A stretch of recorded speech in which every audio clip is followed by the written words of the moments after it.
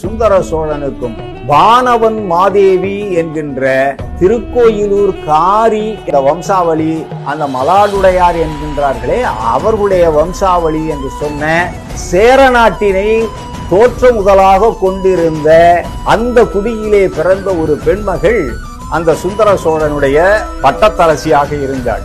அவளுக்கு பிறந்த மகன்தான் நம்முடைய மாமன்னன் ராசராசன்.